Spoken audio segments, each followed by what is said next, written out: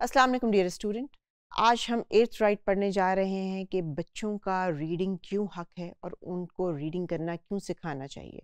तो what is the eight right पहले हम इसको रीड आउट कर लेते हैं।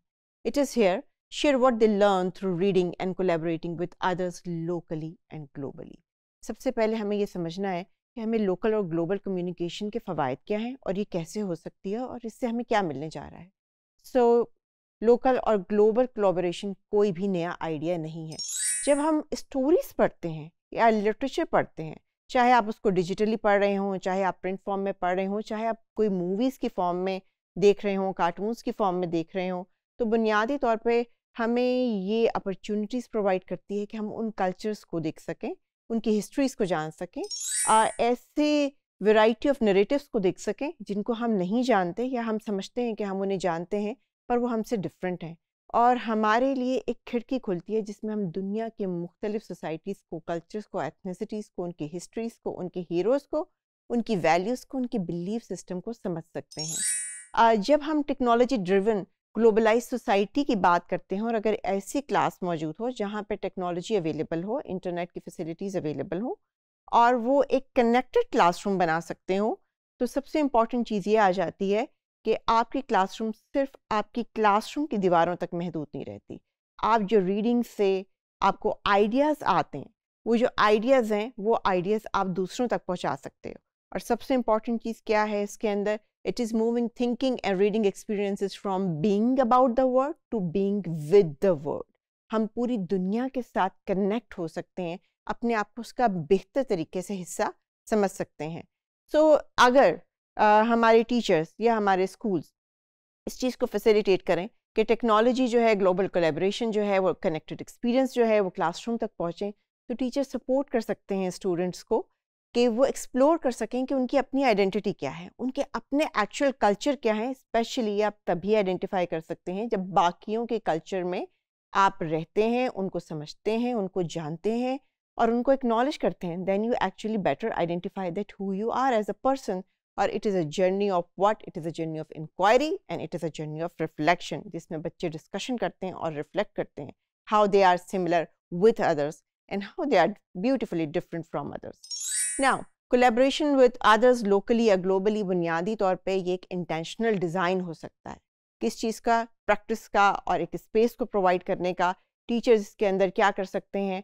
वो ऐसी डिसीज़न मेकिंग प्रोसेस जहाँ पे उनको डिसीज़न लेने का स्पेस होता है वहाँ पे वो स्पेशली डिज़ाइन कर सकते हैं, कुछ इस किस्म का टाइम, कुछ इस किस्म की फैसिलिटीज़, कुछ इस किस्म की चीज़ें, जिसके अंदर रीडिंग, राइटिंग, लिसनिंग जो इंटरेक्टिव स्किल्स हैं, वो ना सिर्फ़ उनकी क्लास के बच्चे सुने, बल्कि क्लास के बाहर के बच्चे भी उससे फ़ायदा उठा सकते हैं।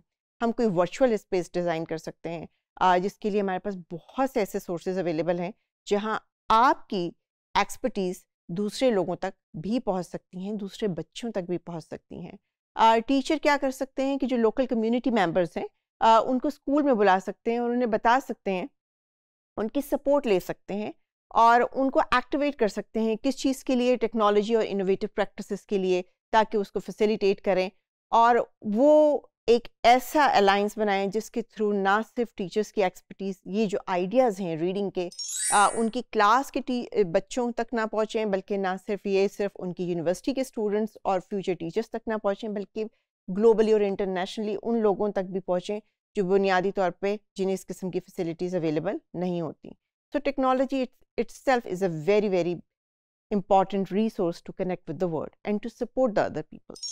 Teachers क्या कर सकते हैं? इंस्ट्रक्शन फ्रेमवर्क डेवलप कर सकते हैं हमारी ग्लोबल थिंकिंग रूटीन बना सकते हैं। किस तरीके से? वो बच्चों में डायलॉग्स प्रोवेल कर सकते हैं। uh, इस डायलॉग प्रोवेल करने का सबसे इंपॉर्टेंट फ़ायदा ये होता है कि बच्चे आपके साथ को क्रिएट करते हैं उस इन्वायरमेंट को उस आइडिया को। सिर्फ़ आप ही उन्हें नहीं बता रहे होते वो भी आपको बता रहे होते हैं। इस तरह उनका एक क्रिटिकल प्रोसेस डेवलप होता है। Students sharing what they have learned, collaborating with other, contextualizing reading in an authentic and highly relevant way. जब बच्चे पढ़ते हैं और वो उन कम्युनिटी से वर्चुअली डिस्कस कर सकते हैं आ, उनको आ, उनके बारे में मज़ीद इंफॉर्मेशन ले सकते हैं उसका फ़ायदा उन्हें ये होता है कि वो एक्चुअली उनके वैल्यूज़ को उनके कल्चर्स को उनके बिलीफ सिस्टम को उनके कॉन्टेक्स्ट में समझ पाते हैं इसको हम कहते हैं ऑथेंटिक लर्निंग ना कि वो अपने आइडियाज़ में इसको समझें और इसकी इंपॉर्टेंट चीज़ ये होती है कि constructed new learning through both collaboration and independent work they can learning through activities focus on inspiration है इंक्वायरी है और इन्वेस्टिगेशन है। दिस इज़ अ पार्ट हमें वर्चुअल रियलिटीज हमें टेक्नोलॉजी इन्वेस्टिगेशन के लिए अपॉर्चुनिटीज़ प्रोवाइड करती हैं। uh, हमें इंक्वायरी के लिए अपॉर्चुनिटीज़ प्रोवाइड करती हैं जो हमारे आइडियाज़ या व्यूज़ बनते हैं वो रिसर्च बेस्ड व्यूज़ बनते हैं। हम उनको चेक कर सकते हैं कि आया ये सही थे या गलत थे?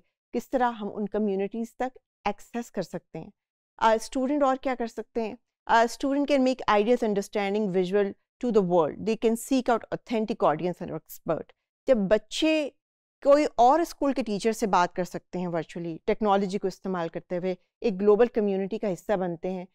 ग्लोबल कम्युनिटी में मौजूद किताबें मुख्तफ कल्चर्स के बारे में पढ़ते हैं, मुख्तलिफ़ ऑथर से बात कर सकते हैं। तो बुनियादी तौर पे वो वैरायटी ऑफ़ एक्सपर्ट्स तक जा सकते हैं, ये भी उनका हक है, उन तक जाना और अपने लिए एक बेहतर मुस्तबिल को फॉर्मुलेट करना।